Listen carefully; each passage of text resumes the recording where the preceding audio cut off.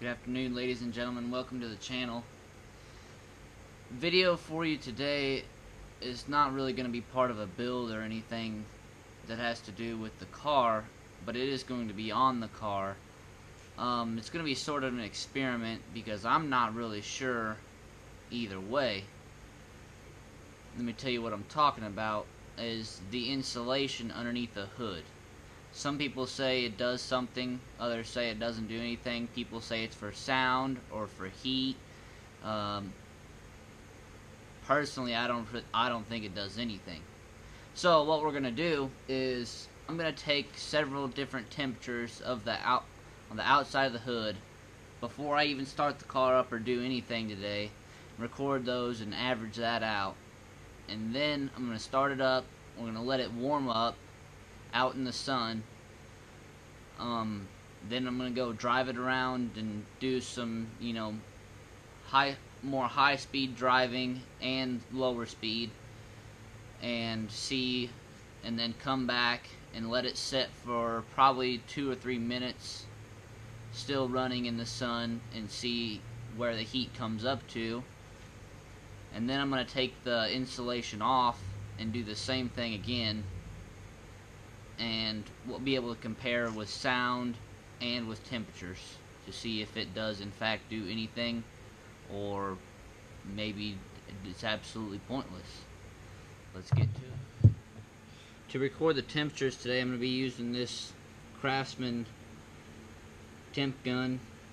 Goes up to a thousand degrees so if we have to worry about that then we got bigger problems than the hood insulation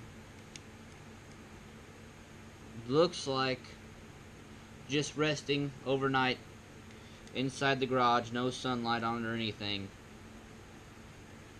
That it's around 93 degrees.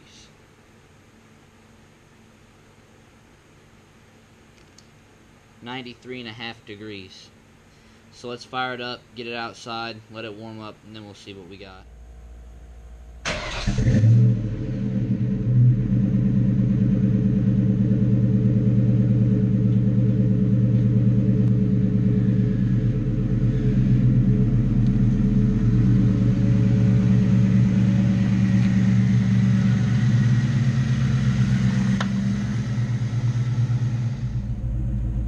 So I've got the car parked here in the sun running, idling about 7,500 or idling about 750 RPMs.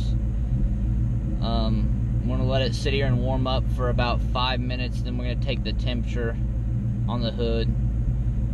Uh, because of dealing with all the temperatures, uh, I feel like it's important to say that the temperature outside is 90 degrees. So that that also has something to do with the heat that we're going to build up. And it's right around 12:30 so the sun's about straight up. So we'll see what it reads. So after the 5 minute warm up the temperature was about 140 some places like 141 some places 139 ish so I average about 140 on the hood. So the water temperature is just starting to come up now. Um, but we're to go ahead and drive around uh, a little bit. Um, I want to give you somewhat limited talking so that you can hear what you can hear um, of the engine and whatnot, so that way we can tell if there's a sound difference. So, um, I don't know, see, see what you can hear. We'll see what happens.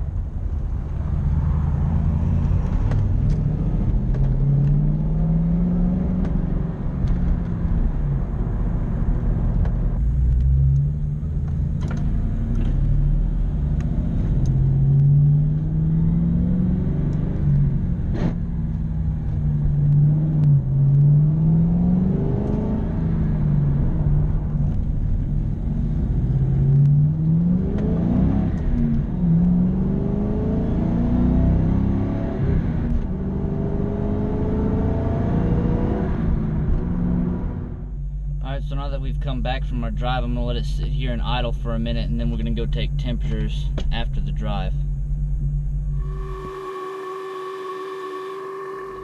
Alright, so temperature read about 135 all the way through.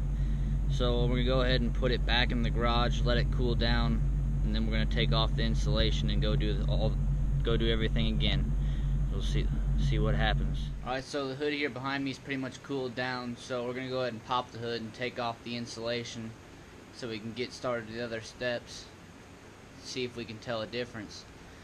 The this is a real easy thing to take off. All it is is push pins, so won't take us very long at all.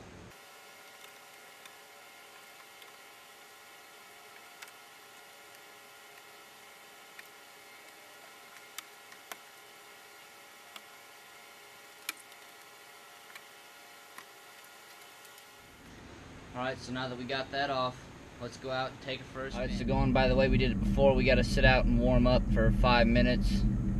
Um, I don't know if we'll do the full five minutes because it's a lot hotter out now than it was uh, earlier when we were doing it. We'll let it set for probably two minutes, 30 seconds, three minutes, and then we'll then we'll take temps. So while we sit and wait here, when I took that off, I noticed, you know, obviously you could see the underside of the hood and everything, and uh, I was planning on doing this, but I think it's going to be a lot easier than I thought it would be to make the hood scoop actually real and actually have some effect to it. Um, I don't know. I probably won't make it do anything with the intake, but um, it might have some cooling effects if we open it up more. So we'll see. We might do that down the road. As far as the sitting in the sun warming up part of the test goes, the hood was really about the same. Uh, some spots were hotter and, and other spots were cooler, but you know that could just be due to do with sun load. So I'll, this might be a bust, but we'll go ahead and take her on the cruise and see what happens with it.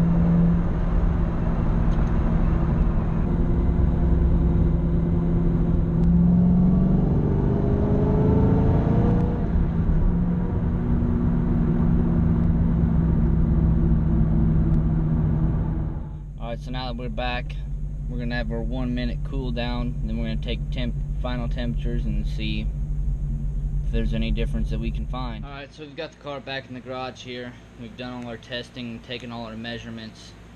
So let's talk about a little bit what we found. So when we first came in here after having it set all night, uh, I drove it in here probably about 10 o'clock last night, and it sat all night. Um, came out about 12:30 and it was about 90 degrees 91 93 on the hood. Uh, it's about 90 outside so pretty close there. Um, started it up pulled it outside for five minutes just sitting there idling in the sun and the temperature got up to 140 uh, 145 somewhere in there. So went and took it for a drive came back, let it cool down for, uh, let it idle for a minute, and it was about 130 to 135. Um, then let it cool back down and get it, got it as close to 90, 93 as I could. Um, let it set for about two hours, and it was pretty close. It was about 95, 97, and there. That I felt like that was close enough. Uh, took it back out. Then I started it up and set it out in the sun for a five minute idle, and it came out to be about 145 to 150 um, somewhere in there. About the same really. Uh, but could just be a been a difference of sun load and things like that.